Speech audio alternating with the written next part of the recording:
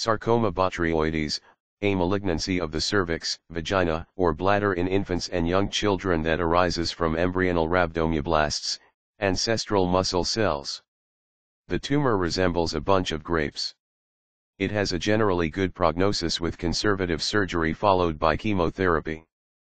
Also known as embryonal rhabdomyosarcoma.